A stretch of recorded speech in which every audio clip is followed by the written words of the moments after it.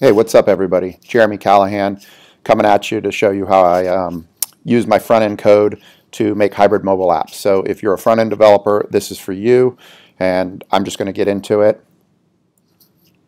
So, the first thing that I have is I develop in Sublime Text, and so what we do is just develop everything just like a normal front end engineer would in CSS, JavaScript, and HTML.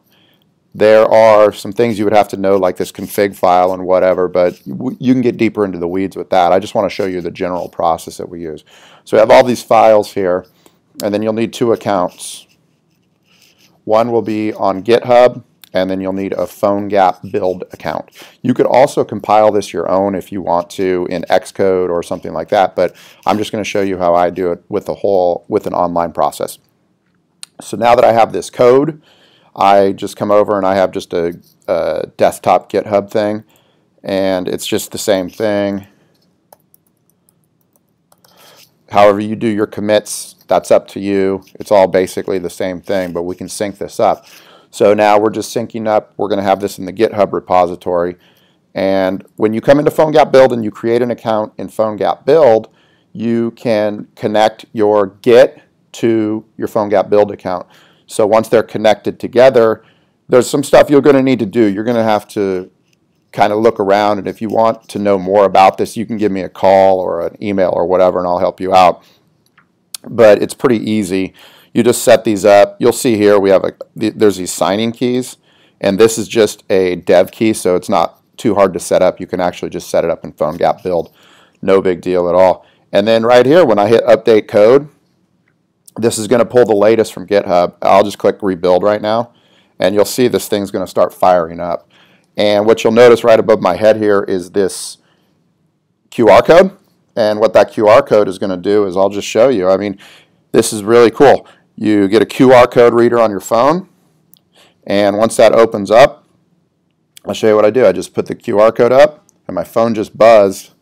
And if you notice, it's just going to ask me if I want to install this thing and you know, and then I go, okay, yes, I want to install it, and now it is installing. It's installing the code that I have on the computer, right, or on the front end code. That so this is just a total dev environment that's going to install this thing in, and now I can come and I can open the app. The app is there. It is, and it's going to install, and the latest stuff that I have on there is going to be on there for testing. So it's really nice to do. It's really easy to do, and it gets you set up. The other thing you can do, if you would like, is when you are working in this environment,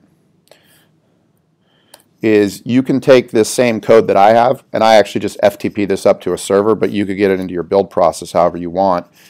And what we do is we go inspect, and again, when you inspect, you might have this view, so just click these three buttons change it to the side view, and now you have this here. If you click this one right here as well, this phone, now you'll see you can adjust this to an iPhone 6, a Nokia. Let's see what it looks like on a Galaxy S5.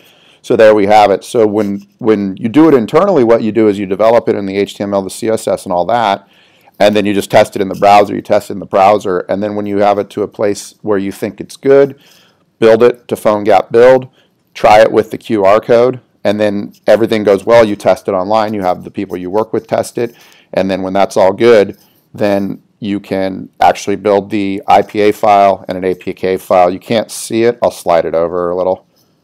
This right here is the is the Android side. So you can build an Android app, you can build an iOS app, all front end code. If you're a front end developer, get busy and start it and get into mobile development, man. All right, I hope everybody enjoyed the video.